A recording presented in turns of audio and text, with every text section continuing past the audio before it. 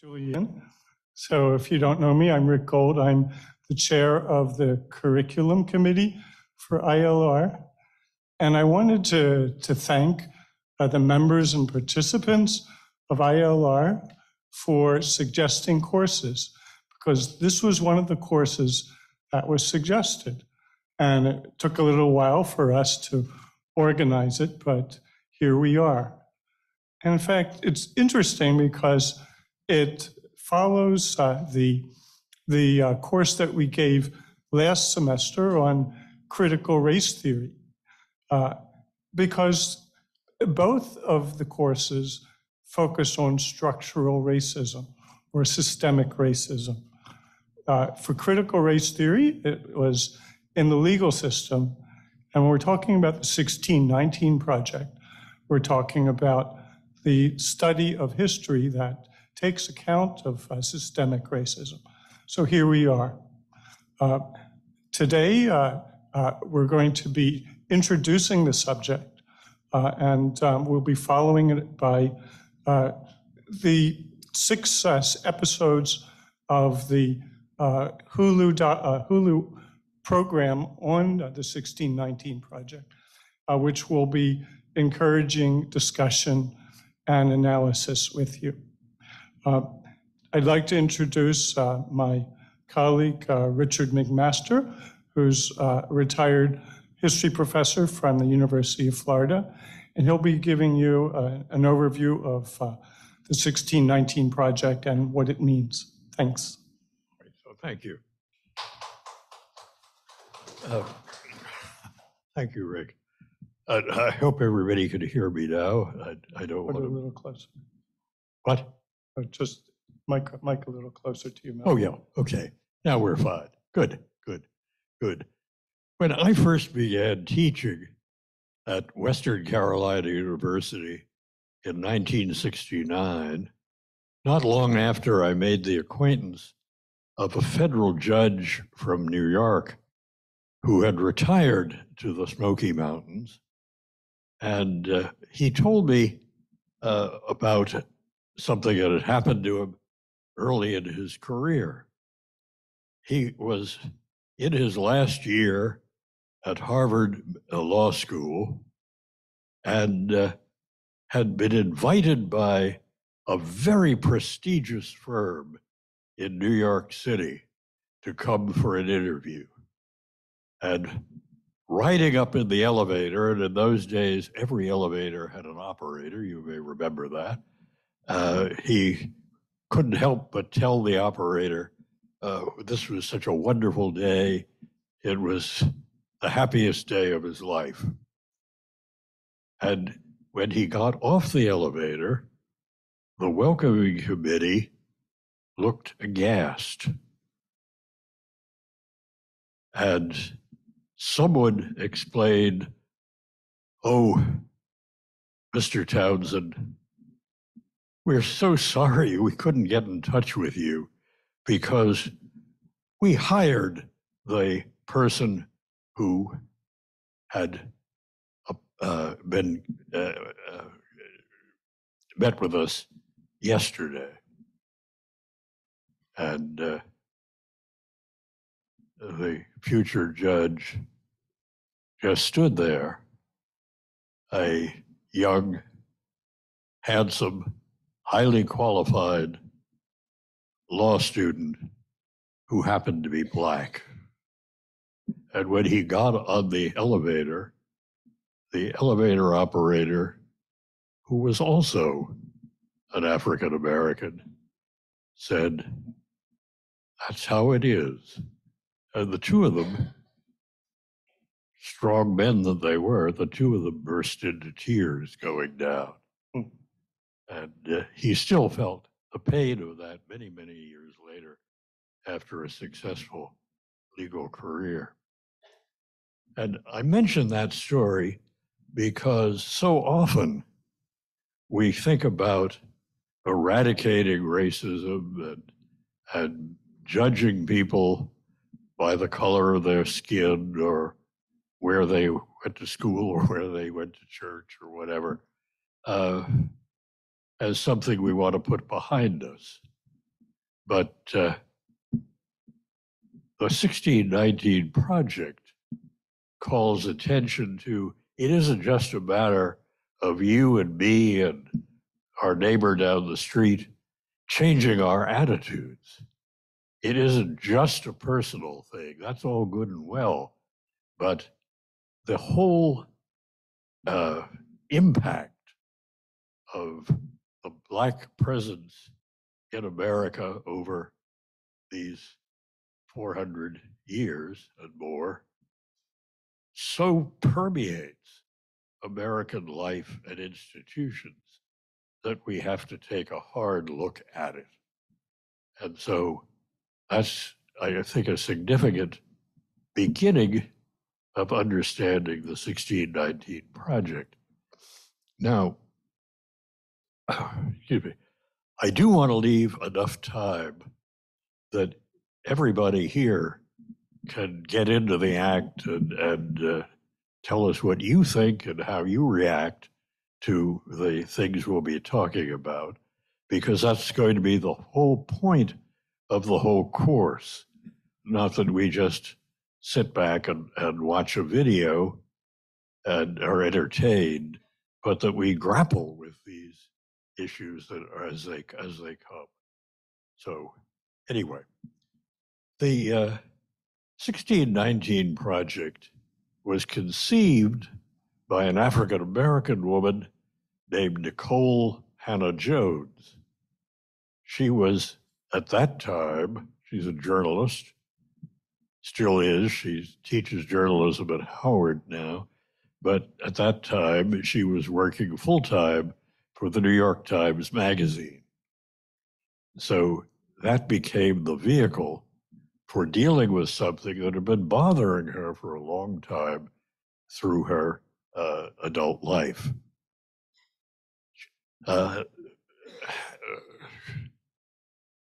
she had grown up as one of a small black minority in Waterloo, Iowa, and went to a school as one of the few public school, uh, one of the few uh, uh, uh, Negro students in the school. And she was exposed and found it very interesting to the standard elementary school American history.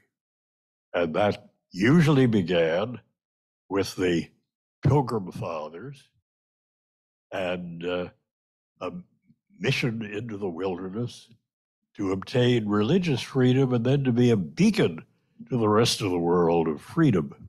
And then when those freedoms that they had achieved here, the colonists had achieved, were uh, threatened by the British Parliament, we broke away from England. And then a number of gifted political leaders uh, created uh, the great documents of the Declaration of Independence and the Constitution and uh, set forth a new nation based on liberty and justice for all. And we continued through the unhappy experience of finally disposing of slavery, which everybody had abhorred anyway, but didn't know how to get out of. And that ended.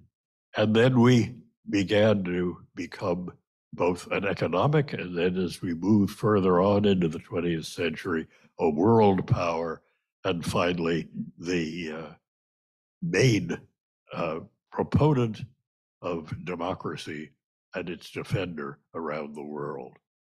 So yeah, and that's all true. But she said it seemed a little lacking that in that story, people like me were just pawns. We had no agency. White people enslaved us, white people set us free, and then we pretty much disappeared until one day in 1963, Martin Luther King was talking at the mall about not judging people by the color of their skins. and then we kind of disappear again. So she was enlightened by a book that was around around that time, a popular, and this may have been in in high school where she would have had pretty much the same kind of approach to American history. That uh, she read a book by Lenore uh, Bennett. I think that's his right name. I I may have that syllable backwards there, but it doesn't matter. Called Before the Mayflower, and this was kind of a popular history of uh, the African American experience, and uh, so she found this enlightening. And by this time, because she's a good deal younger than than I am, uh, there were all sorts of studies being made by newly minted PhDs in American universities about, well, about everything in American history and European history and everything else, but uh, dissertations left and right about slavery, about uh, abolition, about uh, everything that and and uh, the contributions of African Americans, but none of it seemed to get into the uh, ordinary parlance of history. So she wanted to do something more, and since she was working with the uh, New York Times and the New York Times Magazine, she convinced the editor, Mr. Finkelstein, to uh, have a special issue on August 19, uh, 2019, which would mark the anniversary of the arrival of about 20 Africans in a Dutch ship who were unloaded uh, and uh, became in British North America the first Africans and evidently the first African slaves. So she conceived of this policy, this project, this 1619 project, as a new origin story.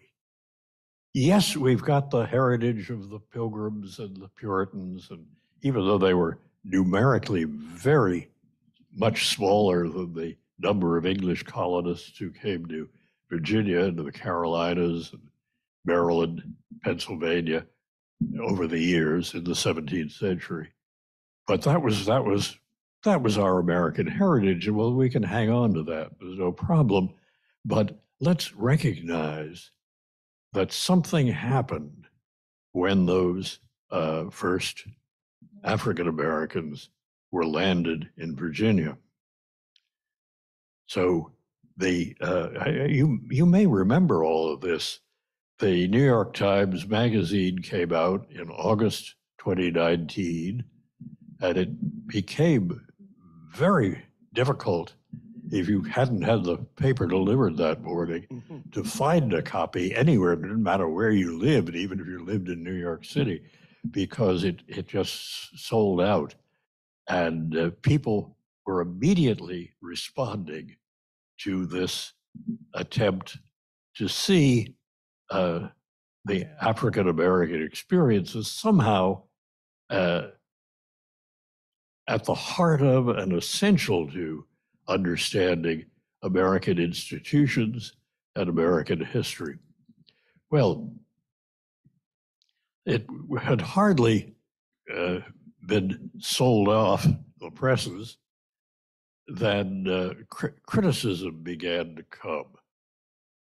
And critics, uh, some of them very distinguished historians, centered on a number of, of issues where the journalistic style had perhaps overstated or a little overplayed what was, you know, that's factual and so on. Some of this initial criticism was simple nitpicking. The 20 Africans were not landed at Jamestown. They were landed at Old Point Comfort, which is down below Hampton. But if you if you've never lived in Virginia, you may have no idea where Old Point Comfort is. And if you know anything about American history, you got a pretty good idea where Jamestown is. So that seemed like just simple nitpicking. And some of the other criticisms that came about, signed off by some very distinguished historians, by the way, were uh, to points that were exaggerated and somewhat even misstated. One of them was that the many Americans rallied to the cause of independence in order to protect slavery in the colonies. And it was pointed out by a number of people, even, even the people who fact checked for the Times, that, you know, the British anti slavery movement in 1776 was pathetically small. You know, we know about Granville Sharp and uh, the evangelical Anglicans and the Quakers and not very many more people than that. And uh, they certainly didn't sway Parliament. So, was slavery in, even after the Mansfield decision, was slavery threatened anywhere in the British colonies? The answer is absolutely no, it wasn't. And the nearest we come, where there is some fact here, is that when in 1775 Lord Dunmore proclaimed liberty to all slaves who would rally to the British, there may well have been people who said, Oh, I was doubtful, but now I know which side I'm on because Dunmore wants to steal all my slaves. So that was a reasonable enough thing. And then again, uh, there was considerable uh, criticism of the way that Lincoln was handled in one of the essays. And that was that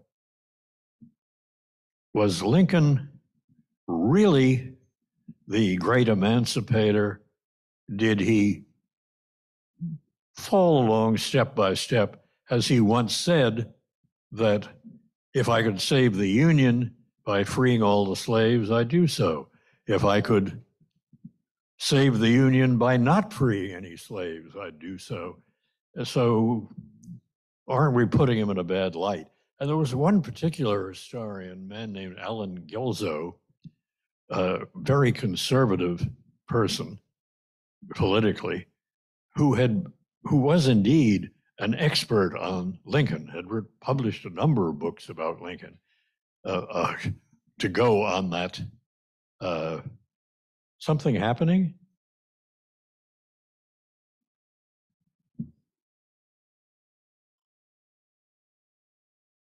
Some is something happening? No, go ahead. Oh. Oh, okay.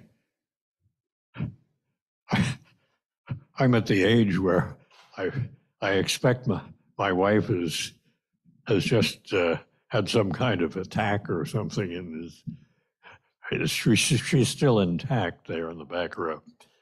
Okay. Anyway, this man Allen Guelzo uh, argued that the slaves had absolutely nothing to do with their emancipation in 1865, in 1863. And it was totally the fact that Lincoln, and his insight, had uh, decided to issue an Emancipation Proclamation, and that they did nothing more to do that. And uh, he became perhaps the most virulent individual critic of the whole 1619 project. And he was connected with the Cato Institute, a number of other uh, very conservative groups, and they began to take up that crusade. So that's part of the story. The uh, other thing that that the critics were passing over on that was a, or after on that was the role of the United States colored troops in saving the Union in in 1861 65 and uh, perhaps it was overstated a little bit, but in the in the uh, one of those essays, but the percentage of the Union Army in April 1865 who were in fact U.S. colored troops was startling because they had managed up to that point to kill and maim so many other Union soldiers that uh, these uh, new recruits were filling in and, and were and were really very very numerous at that time. And again, this this just seems to be small points that they were criticizing. And and uh, finally, and I think this was always the crux, was that in that initial uh, presentation, the 1619 project regarded the plantation as, if not the birthplace, certainly the nursery of American capitalism. So it was on that, I think, a lot of people bristled and said, oh, this is some kind of left wing conspiracy and we don't have anything to do with it, and so on. So, uh, two more points in those early criticisms. Some of them became uh, so minor that you you'd think, yeah, you're right, but and uh, our own Kathleen Deagan, who is a very distinguished uh, archaeologist at uh, UF and has done some wonderful work, contributed to the criticism by pointing out that the people landed in Virginia in 1619 were not the first African slaves in the United States. That as early as 1525, in a short lived colony in Florida, Spaniards had brought African slaves. So they're not the first. That's not the beginning. Okay, well, that's absolutely true. But it raises the question when we looked at American history, is it something that evolves from the English colonies and gradually extends over the continent? Or is everything that is part of the United States today and its whole past to be taken as crucial to understanding American history? So, do we need to spend a lot of time on what the Russians were doing in Alaska in the late 18th and early 19th century? Or what about the history of the Kingdom of Hawaii? Or where people were, what people were doing in Puerto Rico before 1898? So, you know, you could, you could have it both ways. Both sides are perfectly valid. And uh, a second uh, question was that the that whole issue about well, did people uh, opt for independence because they were afraid to lose their slaves? Well, yeah, that a certain number of people probably did, but it's that whole fallacy of there's only one explanation, there's only one cause, because it's why students, even elementary school students, should be learning there are multiple causes for anything and everything and critically thinking about that. Which one is more important? Which one influenced the more? So there, there were valid historical criticisms and and some that perhaps are are uh, of less interest, and and one that actually never seemed to come up, and that intrigued me about 1619 was in a very very uh, good book that was published, I guess, about in 1960 something.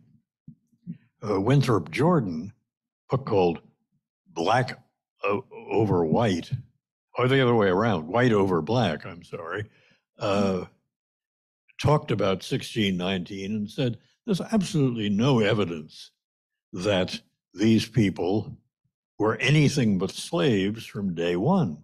Okay.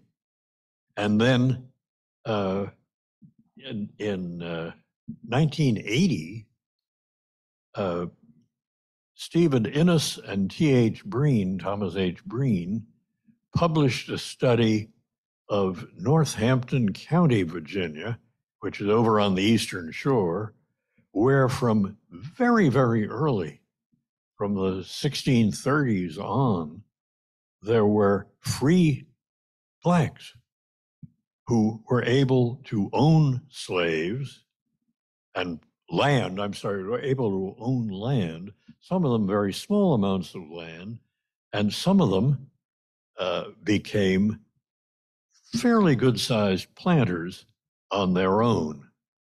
So, did that mean that perhaps they had been treated, that first crowd, as, uh, as uh, indentured servants, like English indentured servants or Irish indentured servants, who would be free after a certain amount of time and could be part of the of the community. And that raises the inter to me it raised the interesting question as to which came first or were they both together that was slavery somehow linked to an abhorrence or a contempt for people of other races? Or was it simply uh, an economic method that we would exploit the workers no matter who they were or where they came from or whether they looked exactly like the owner of the plantation or they were Africans fresh off the boat.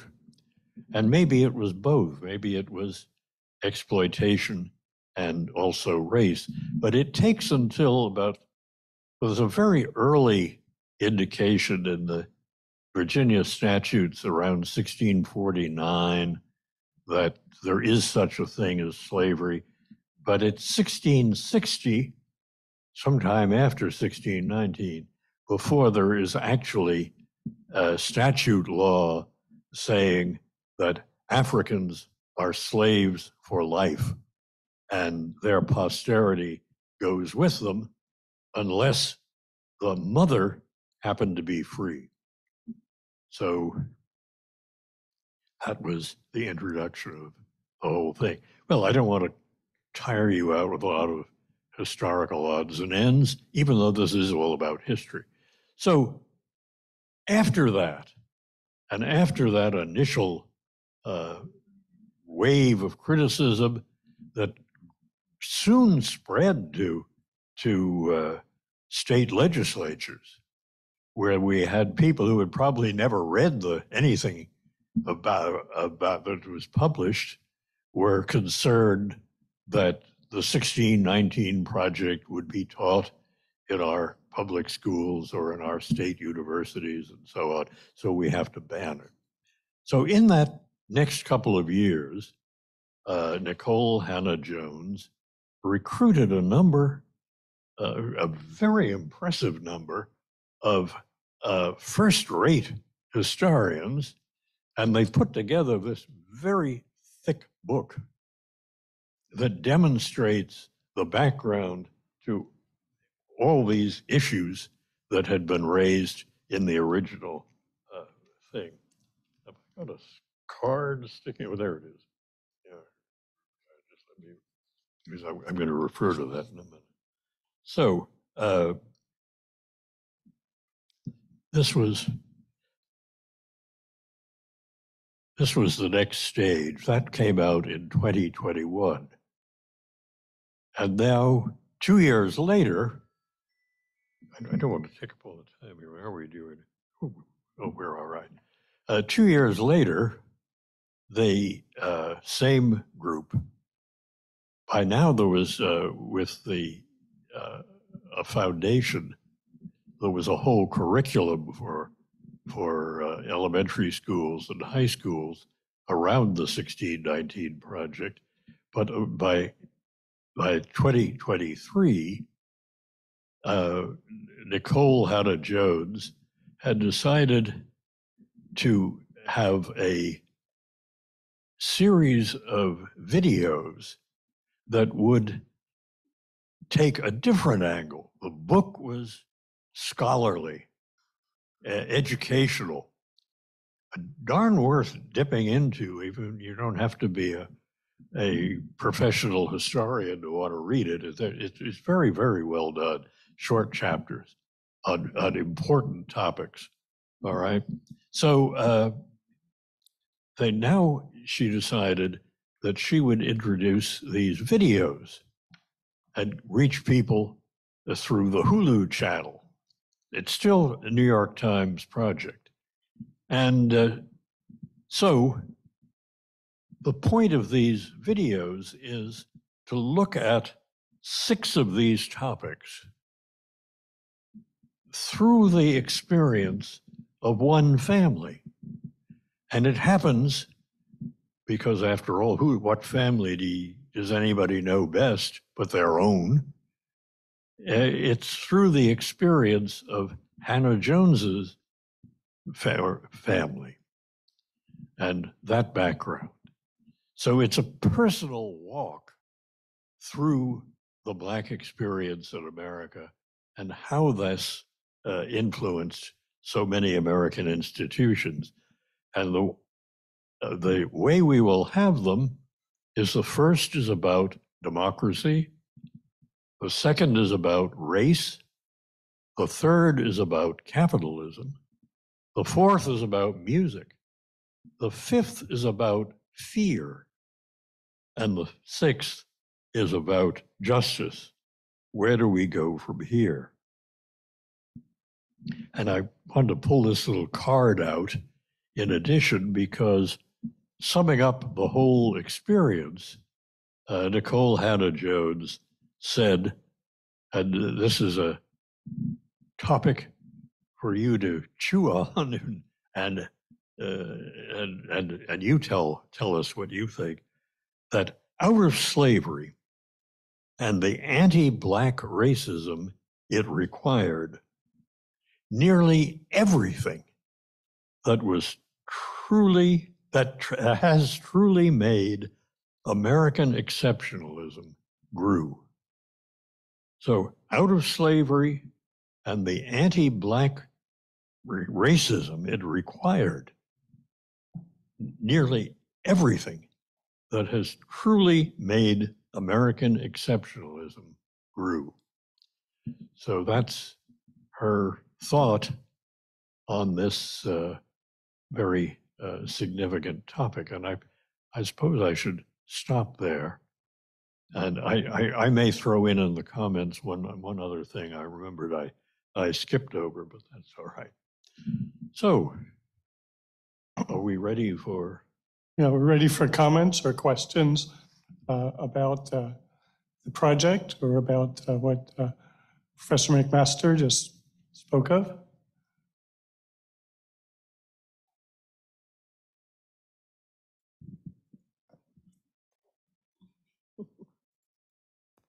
Doug?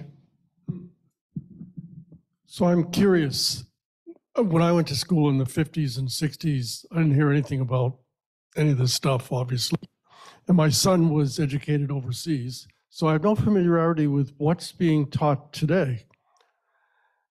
Are they getting still the sort of canned stuff that we got, maybe in slightly modernized form? Or are they getting at least something about the role of racism in our history and our culture and so on. Oh, I, th- I think so. I think that's uh, that's very much grown because actually the the sources are are so available that if you were starting, say, in in uh, 1958 or 1960 or something, you, you you didn't find very many books about slavery. There were a couple of good, solid studies and, any of our Black history. I know I, I, I, I taught a class, introduced it at, at Western Carolina in 1969 on Black America. and we had a textbook. So, yeah, people were preparing materials to be used at least, certainly at least in college courses at that point. And uh, I like to remember that when we were trying to get this set up, the dean said, How could you have a history of Black America? Those people don't have any history. And uh, but, but there was an awful lot and an awful lot of really first rate scholars uncovered all of that history in the in the and that's a long time ago in those succeeding years and that kind of has been uh, in, included in in uh, well all the way down to elementary school i'm sure. In fact in fact uh, i don't want to hog the mic here just, just because i'm holding it but uh, in fact the uh, Florida Board of Education just completed a hearing on the standards for teaching African American history in the public schools and in the and in the uh, universities.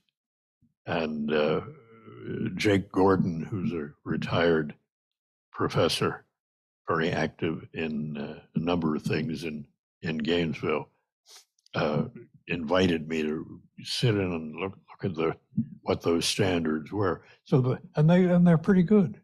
So yeah, I think it's it's permeated very well. So we're not where we were even when uh, uh, Nikole uh, Hannah Jones was first concerned about school.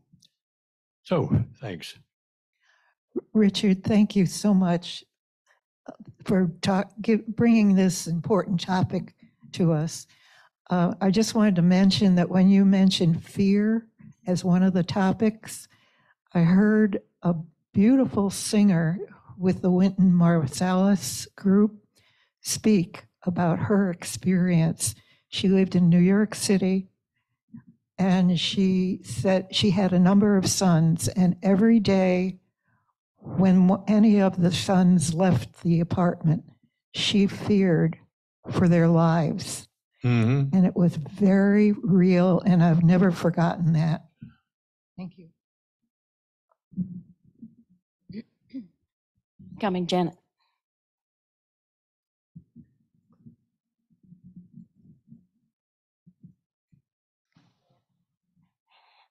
She mentions this in the beginning of her book in the introduction. And I know some of you know this, but the textbooks that are used, and particularly the K through 12, textbooks publishers focus on what the big states are doing, Texas and Florida, because obviously they're in the business to sell textbooks. So those states have a greater say in what is included and what is excluded in the textbook. And just recently, the state of Florida was evaluating a whole series of social studies textbooks as to which ones they wanted to officially adopt. And probably half of them were declined. And it probably was included some of the things that they did not want included. So that's something that we need to be aware of. This is the K through 12. T- colleges probably are different, but they want to sell textbooks and Texas and Florida buys more textbooks than North Dakota or New Hampshire. And so they're gearing it to those. So we're not getting maybe the true history that we might with some of the other resources that are available. Thank you. Thanks. Yes, Han- Hannah Jones uh, in the book uh, mentions uh, the fact that the state of Texas adopted a high school text that talks about slavery only in terms of workers, as though these were people who turned up at a hiring hall and said, Hey, I see there's a great job opening up in uh, East Texas, uh, and it it asked for a slave. Well, sure, I'll, I'll go as a slave. Sounds like fun, you know. So they just completely brushed over the fact that this was a coerced labor force. But that's Texas. Richard, can I ask a question that came to my office shortly after the bulletin was published? That I, I took a call um, from an ILR member, just kind of questioning after the book was published and the videos came out, was there some controversy or challenge or retraction by um, Ms. Jones herself? Or what- what's, I, I didn't quite get all that. Was there a controversy? What? after the book and the movie came out, did Hannah Jones make some kind of a retraction or something to that effect? I, I took a call in my office. Yeah. With someone kind of challenging me about that. Could you repeat the question? She was wondering whether because of the criticisms you mentioned that there, Hannah Jones did any retraction of uh, what she put in. Oh, yes, yes, yes. I'm sorry. I'm, I'm, I'm, Sorry, I'm not clear. I'm in good company, I suppose, but I, my hearing isn't all that good. So uh, I was going to say, uh, yes, yes, they toned down some of those more extreme statements. So that, for instance, uh, there's a slightly better, uh, friendlier uh, uh, treatment of, of Lincoln and emancipation and uh, and the idea that somehow or other protection of slavery was the major cause of the American Revolution is completely uh, out of there. That but that was all kind of journalistic stuff in the original thing, and uh, and so yeah, there has been some retraction and some change, and the the book uh, then is is not saying everything that was in the magazine is absolutely uh, true, and we're going to fight for it to the death. They're giving you the background and the and how to understand those those issues. So, anybody else? Um, does the uh, 1619 project either in the iterate, all of the three iter- iterations? You could hold it very describe- close to your mouth. We might Oh. hear you better. Sorry. Uh, Is it on? Yeah. Gosh, I have to take my mask off. Yes. I'm going to get COVID for That asking a question. Sorry, no offense. Uh, Does the uh, project in uh, any of the three uh, forms, the original article, the books, or the uh, Hulu uh, presentations, uh, how do they deal with, or do they deal with uh, uh, restitution and um, sort of monetary repayment for past pro- uh, issues? That's that's going to come up in the last session. And Rick is going to be explaining that and how that works. Yeah, it's in, in the justice section. And uh, of course, it reflects uh, not only the issue of restitution, but also the experience of her family. So it puts that into that context. Good. Good. Uh-oh. Uh, Richard, thank you very much. That's uh, been very uh, enlightening and helpful in everybody approaching this course. Uh, I'm wondering whether the course will take Oh, up the goodness. controversy at the University of North Carolina with her position there and the fact that the Board of Trustees put a great deal of pressure on her. And I think tried to uh, take away her tenure track or they, they were trying to, uh, and she was targeted, she felt. Jones. Will that be covered in this course? Yeah. I was some, somewhat distracted because Oh, I'm sorry. Holly f- fell over Oh, my gosh. in front of me here. Oh, I hope she's all right. yes, of course. So, everything okay? I hope so, yes. Do you Yeah. want me to repeat my question? What? Do you want me to repeat my No, question? go ahead. Yeah, I, I'm just wondering whether the course will deal with at all uh, Jones's treatment at the University of North Carolina, which came out, uh, at, she believes, I think most people did, as consequent of her publishing 1619, when they were trying to divert her, I think, tenure track or beginning getting tenure. Uh, and I don't know how that's been settled, but uh, Yeah, she was invited, she was invited to be in the School of Journalism there. And uh, it was a wish of the faculty and, and the administration and everybody, but uh, the contract denied her tenure, which would normally have gone with that professorship. So she didn't accept it.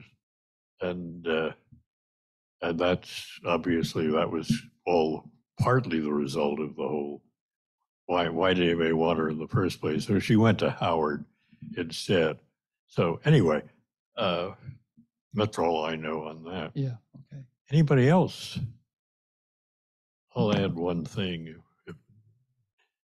Yeah, I'd just like to add that, uh, you know, what we're dealing here i- with is uh, a, an effort f- for the society to take a look at, a different look at, at history and um, to assure that the educational system reflects much of the scholarship that has been going on among historians. Uh, and it's, uh, it's entering into a political dispute about the degree to which we should be honest about uh, accepting the role of slavery and racism in our history and uh, addressing that honestly th- through the educational system. So that's what we're seeing here. Uh, and uh, it's playing itself out uh, in the legislative area as well, in terms of uh, what can and cannot be said in K through 12 or even in the university level about uh, systemic racism. So that's uh, the why uh, this course is important, the project is important. Doesn't mean that everything that has been said or stated up till now has been totally accurate. That's why we have a history profession where uh, historians can engage in dialogue. Uh, but uh, this is important, the time is right, and so we're happy to present this course. Don't don't go yet. I wanted to add one thing that I, I forgot I was going to say earlier, and that is that uh, on the uh, Americans kind of bristled at the idea that oh, uh, slavery was the backbone of of our wonderful economy. Uh, the British have been much more uh, willing to face up to that. That the slave trade investment in the slave trade, investment in sugar plantations, investment in uh, cotton plantations around uh, the right up and into the uh, 19th century was crucial to the growth of the industrial revolution in Britain. And provided the the money to do that But when the compensated uh, emancipation came in 1833, the enormous amount of public money put into that funded all sorts of enterprises, including a great many American railroads and other such things. And an example has been in, just very recently a series in the Guardian newspaper about the Guardian's complicity in mm-hmm. slavery.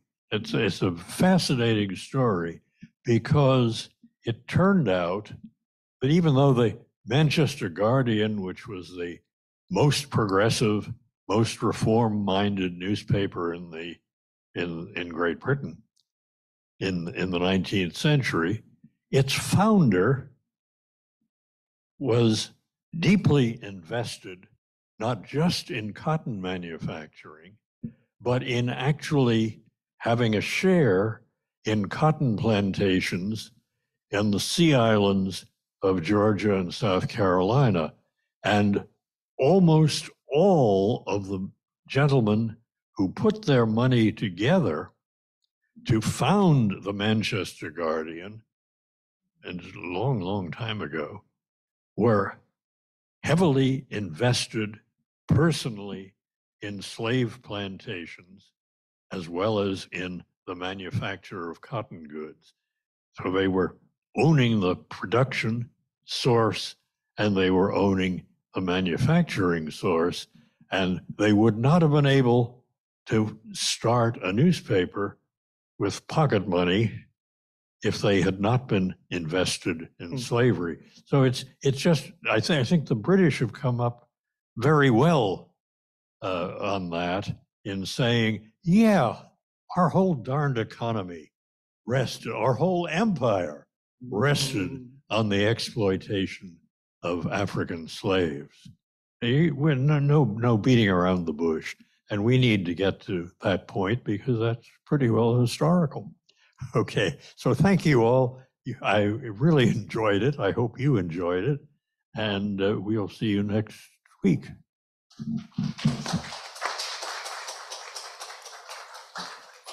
Rick, did you want to mention that we won't be recording the, Uh, no, it's fine.